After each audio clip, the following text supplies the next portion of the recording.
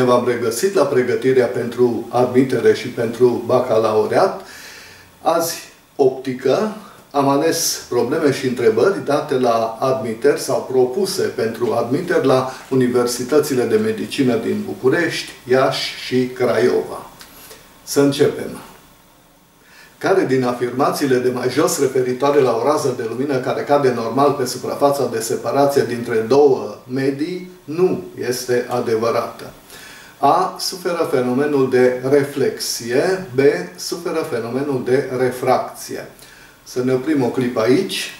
Când o rază de lumină, sau în general, lumina cade pe suprafața care desparte două medii transparente, că asta ne interesează în optică, dar optic diferite, adică cu indici de refracție diferiți, o parte din lumină se reflectă, o parte se refractă. Deci cele două fenomene nu au loc separat, au loc împreună, întotdeauna. Cu excepția reflexiei totale, nu este cazul aici să discutăm despre asta. Asta înseamnă că atât A cât și B sunt afirmații adevărate suferă fenomenul de reflexie și suferă fenomenul de refracție, pentru că, așa cum am spus, o parte din lumină se reflectă, o parte se refractă. Ce? Raza refractată nu este deviată față de raza incidentă. Așa este. La incidență normală, raza refractată nu își schimbă direcția de propagare. Are aceeași direcție de propagare cu raza incidentă. E un caz special. Asta nu înseamnă că nu avem refracție. Avem, din moment ce lumina a intrat în al doilea mediu, înseamnă că avem refracție. Ceva s-a schimbat, chiar dacă nu s-a schimbat unghiul față de normală. S-a schimbat drumul optic. Raza din mediul al doilea are de parcurs un alt drum optic decât ar fi avut dacă n-ar fi existat mediul al doilea. Deci e adevărat ce se spune la ce, raza refractată nu este deviată față de raza incidentă. D. Unghiul de incidență este nul. Așa cum vedeți în acest desen, unghiul de incidență se măsoară față de normala la suprafață. Și dacă raza este și anormală, așa cum spune enunțul uh, acestei întrebări, atunci unghiul dintre ea și normală este nul din nou o afirmație adevărată. E, unghiul de incidență este de 90 de grade, nu, tocmai am lămurit că unghiul de incidență este nul, este zero. Deci afirmația care nu este adevărată este E. Dacă imaginea reală a unui obiect format de o lentilă convergentă se află între dublul distanței focale și infinit, poziția obiectului este A.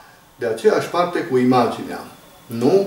În cazul lentilelor, imaginea reală se formează de partea cealaltă a lentilei, nu în aceeași parte cu obiectul. Deci A nu este o afirmație adevărată, corectă, pentru că în enunțul spune că avem o imagine reală.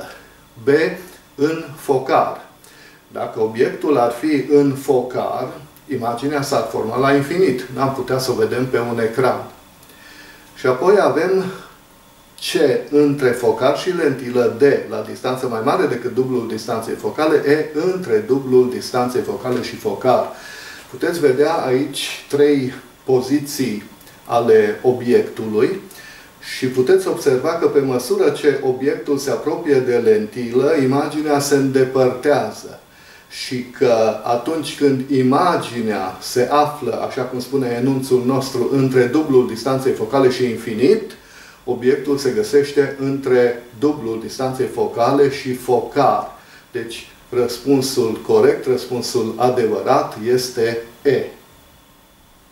Care dintre următoarele afirmații este adevărată? Și vedeți acolo cinci afirmații legate de două mărimi care caracterizează aparatele optice, și anume grosismentul și mărirea liniară. Grosismentul, notat G mare, este raportul dintre tangenta unghiului alfa 2 și tangenta unghiului alfa 1. De alfa 2 este unghiul sub care vedem obiectul atunci când îl privim prin aparat Deci grosismentul se referă la aparate cu imagini virtuale și îl folosim pentru că atunci când o imagine e virtuală, nu putem măsura dimensiunea. Imaginea e virtuală, deci nu putem folosi mărirea liniară. Iar alfa 1 este unghiul sub care vedem obiectul când îl privim cu ochiul liber, fără aparat, pentru cazul în care obiectul se găsește la distanța optimă de vedere, care în cazul ochiului normal este de 25 de centimetri. Iar mărirea liniară, beta, este raportul dintre dimensiunea imaginii, Y2, și dimensiunea obiectului, Y1. Și acum să vedem. A. Grosismentul este diferit de mărirea unghiulară. Nu, tocmai că el se numește și mărire unghiulară, pentru că, după cum vedeți, avem raportul a două tangente ale unor unghiuri. B. Mărirea transversală este dată de formula beta egal cu y1 pe y2. Nu. Este y2 pe y1, ceea ce înseamnă că C mărirea transversală este dată de formula beta egal cu y2 pe y1 este o afirmație corectă. D. Grosismentul se numește și mărire unghiulară. Din nou, e adevărat. E. Mărirea transversală este dată de formula nu. Aceasta este formula măririi transversale. Deci, răspunsurile corecte sunt C și D. Imaginea unui obiect luminos aflat la 0,2 metri de o lentilă se formează pe un ecran aflat la 80 de centimetri de obiect. Atenție! Indicați răspunsul corect și avem 5 variante de răspuns. Dacă vă uitați la ele, veți vedea că ele vorbesc despre natura imaginii, despre dimensiunile imaginii și despre convergența lentilei. Am ales această problemă, pentru că e o problemă, de fapt, ca să vă arăt că uneori putem găsi varianta corectă și fără să facem calcule. Deci avem o lentilă care ne dă o imagine pe un ecran. Obiectul se găsește la 0,2 metri, adică x1 este minus 20 de centimetri, 0,2 metri înseamnă 20 de centimetri și pentru că obiectul este plasat de obicei la stânga lentilei, x1 este negativ și ecranul pe care se formează imaginea acestui obiect se găsește la 80 de centimetri de obiect. Atenție, de obiect, nu de lentilă. Și asta înseamnă că x2 este 80 de centimetri, din care trebuie să scad distanța de la lentilă la obiect. În modul trebuie să scad. Aici vorbesc despre distanțe. Deci, x2, care e distanța de la lentilă la ecran, nu este 80 de centimetri, ci este 80 minus 20. Adică este 60 de centimetri și este pozitivă de data asta, pentru că ecranul se găsește la dreapta. Imaginea reală se formează de partea cealaltă a lentilei. Și acum să ne uităm la răspunsuri. A și E vorbesc despre o lentilă divergentă. Lentila noastră nu poate fi divergentă pentru că formează o imagine reală pe un ecran. O lentilă divergentă, ea singură, nu poate da imagini reale. Deci am scăpat de două variante, A și E nu pot fi variante corecte. Mai departe, B. Lentila este convergentă cu distanța focală de 20 de centimetri. Dacă distanța focală a lentilei ar fi 20 de centimetri, ar însemna că obiectul se găsește în focar. Pentru că obiectul se găsește la 20 de centimetri de lentilă. Ori când obiectul se găsește în focar, imaginea se formează la infinit. N-am putea să o vedem pe un ecran. Deci nici B nu poate fi variantă corectă. Mai rămân C și D. Și dacă le citiți, cele două variante, observați că ele diferă, prin faptul că la ce ni se spune că imaginea este reală răsturnată și de trei ori mai mare decât obiectul, în timp ce la D ni se spune că imaginea este reală răsturnată și de trei ori mai mică decât obiectul. Beta, mărirea liniară, care este Y2 pe Y1, deci este dimensiunea imaginii pe dimensiunea obiectului, în cazul lentilelor este egal cu X2 pe X1. În cazul nostru, înseamnă că beta este 60 pe minus 20, adică minus 3. Ce ne arată asta? Faptul că beta este supraunitar, vorbesc despre 3, ne arată că imaginea e mai mare. De câte ori? De 3 ori. Semnul minus ne arată că e răsturnată. Și cam asta este tot. Nu mai trebuie să calculăm și convergența lentilei, pentru că singura variantă corectă poate să fie C, unde ni se spune că imaginea este reală, răsturnată și de trei ori mai mare decât obiectul, ceea ce înseamnă că lentila este convergentă cu distanța focală de 15 cm. Deci, varianta corectă este C. Un miop nu poate vedea obiectele situate la distanță mai mare de 40 de centimetri de ochi convergența lentilelor de contact care să-i corecteze vederea la distanță ar trebui să aibă câte dioptrii. Problema miopiei este aceea că distanța maximă de vedere nu este infinit, ci este, în cazul uh, ochiului descris de întrebarea noastră, 40 de centimetri. Poate să fie și mai puțin de atâta, poate să fie și mai mult, bineînțeles, dar nu este infinit, așa cum este în cazul unui ochi normal. Și atunci, cum putem să ajutăm persoana respectivă? Trebuie să facem ca imaginea unor obiecte care se găsesc foarte departe, munți, stele, adică sunt practic la infinit, să se formeze în fața ochiului, deci să fie imagine virtuală, la distanța la care ochiul respectiv poate încă să vadă, la 40 de centimetri în cazul nostru. Deci asta înseamnă că distanța până la obiect este minus infinit, vrem ca el să poată să vadă și obiectele care se găsesc la infinit, iar distanța până la imagine este de 40 de centimetri, dar, repet, imaginea trebuie să se formeze în fața ochiului, deci trebuie să fie o imagine virtuală, de aceeași parte cu obiectul și atunci avem minus 40 de centimetri.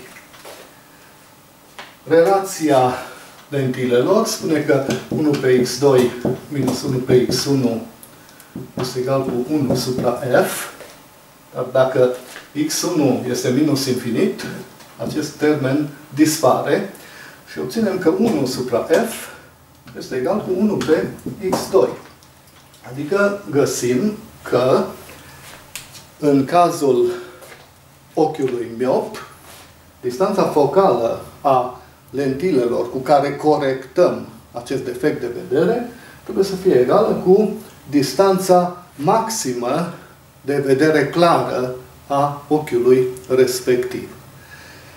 Și atunci înseamnă că distanța focală a lentilelor ochelarilor pe care trebuie să-i recomandăm, în cazul nostru va fi minus 40 de centimetri. Iar convergența va fi minus 1 supra 0,4 metri, ca să obținem dioptrii. Deci convergența va fi minus 10 pe 4 metru la minus 1, convergența va fi minus 2,5 dioptrii. Ceea ce înseamnă că răspunsul corect, varianta corectă, este C. Despre indicele de refracție absolut al unui mediu, este adevărat că. Să vedem. 1. Depinde de natura mediului. Da? Cu siguranță, indicele de refracție este o mărime care caracterizează un material, o substanță. depinde de caracteristicile chimice și fizice ale substanței respective, deci e adevărat, depinde de natura mediului. 2. Depinde de temperatură. Am spus că indicele de refracție depinde de caracteristicile fizice ale mediului, deci și de densitate. Iar densitatea este masa supra volum. Iar volumul depinde de temperatură. Corpurile au, în general, atunci când își modifică temperatura, tendința de a-și mări, dilatare sau micșora dimensiunile, contracție. Și dacă se schimbă volumul, se schimbă și densitatea. Și dacă se schimbă densitatea, se schimbă indicele de refracție al mediului. Ceea ce se întâmplă este de fapt că atunci când crește densitatea, o rază de lumină întâlnește mai multe particule atunci când are de parcurs o anumită distanță prin mediul respectiv. Și din această cauză viteza ei scade în acel mediu, deci și 2 este adevărat, depinde de temperatură. 3. Arată de câte ori viteza luminii în vid este mai mare decât viteza luminii în acel mediu. Indicele de refracție se definește ca fiind C supra V. Unde C este viteza luminii în vid și V este viteza prin mediul al cărui indice de refracție l-am notat cu N. Deci 3 este adevărat. Ne arată de câte ori viteza luminii în vid este mai mare decât viteza luminii în mediul respectiv. Și 4 este adimensional. Dacă avem raportul la două viteze, înseamnă că unitatea de măsură, metru pe secundă, se simplifică și rămânem cu o mărime adimensională. Ceea ce înseamnă că toate variantele sunt corecte, așa că trebuie să dăm răspunsul E. Fenomenul de reflexie totală la trecerea dintr-un mediu cu indicele de refracție N1 într-un mediu cu indicele de refracție N2 se produce în condițiile în care reflexia totală e un caz special al refracției, așa că să scriem legea refracției, sinus de I supra sinus de R este egal cu N2 supra N1. Și vă rog să observați că dacă N1 este mai mare decât N2, atunci și R, unghiul de refracție, este mai mare decât unghiul de incidență. Așa cum vedeți în acest desen. Și în acest caz, dacă mărim unghiul de incidență, așa cum ne arată al doilea desen, la un moment dat, unghiul de refracție va avea 90 de grade și dacă va avea 90 de grade, sinus de 90 de grade fiind 1, rezultă că sinus de I, care acum nu mai este orice unghi de incidență, este așa numitul unghi limită, deci sinus de L, va fi egal cu N2 de N1.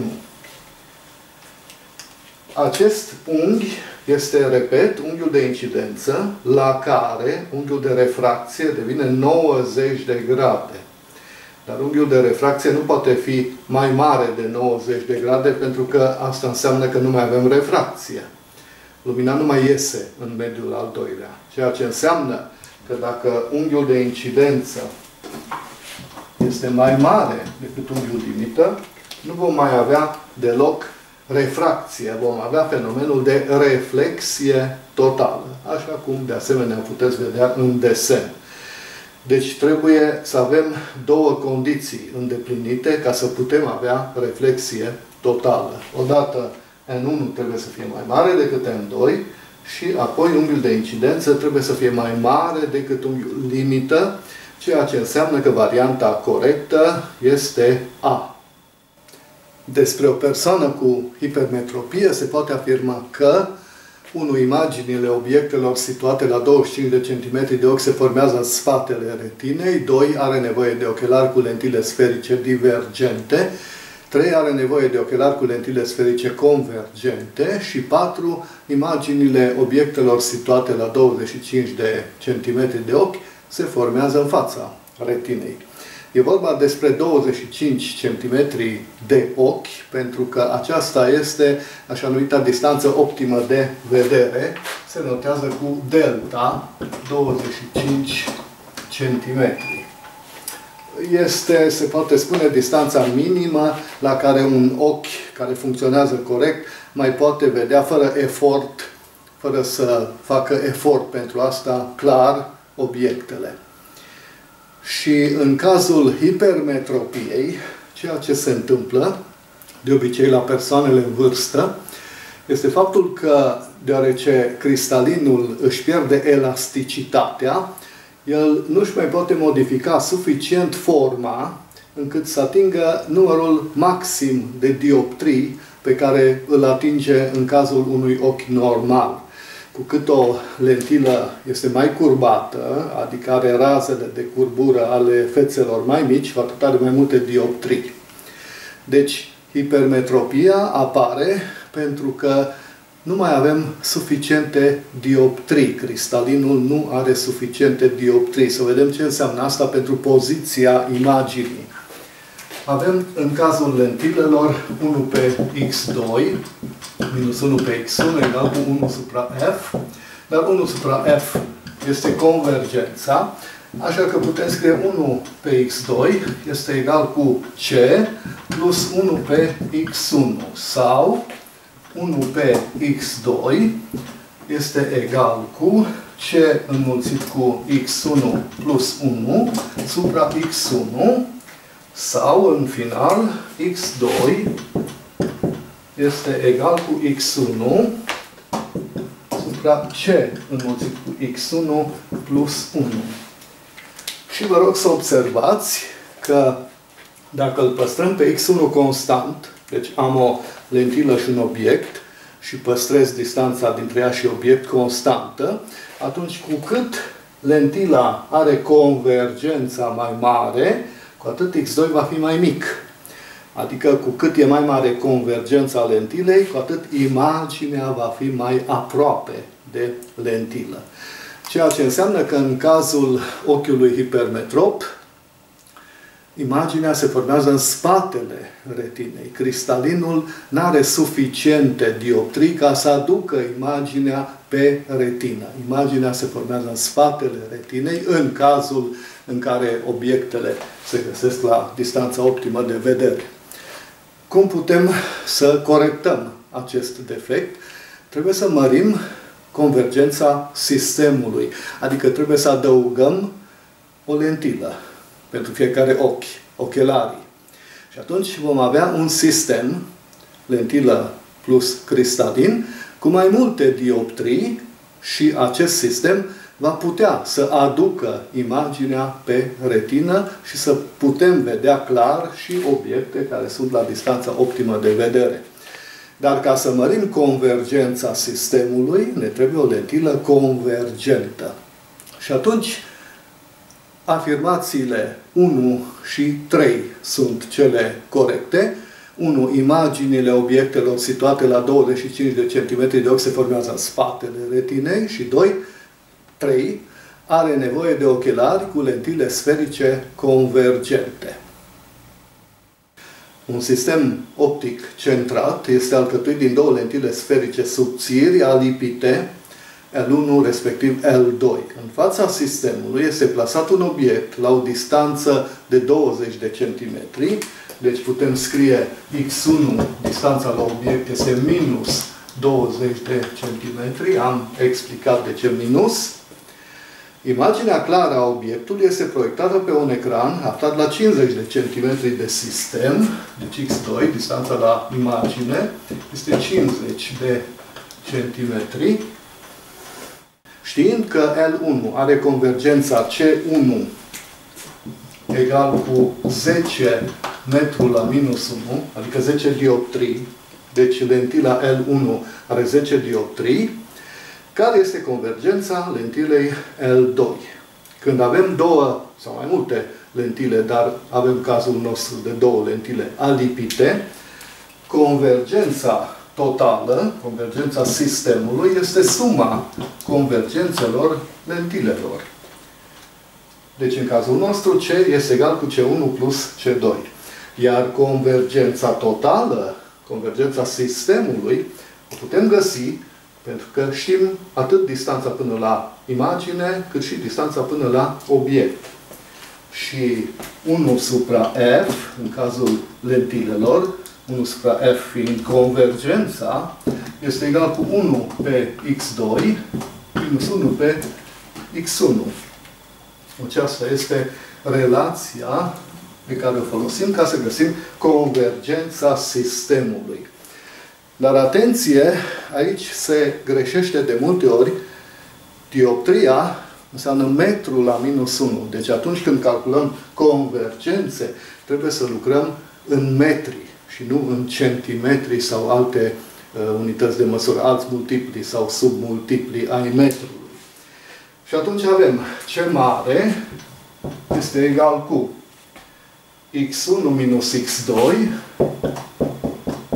supra x1 înmulțit cu x2.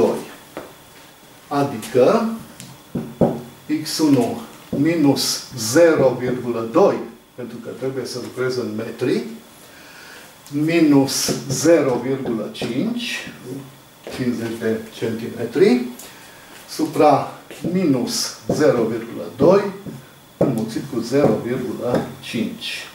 Și atunci convergența este la numărător am minus 0,7 supra la numitor am minus 0,1.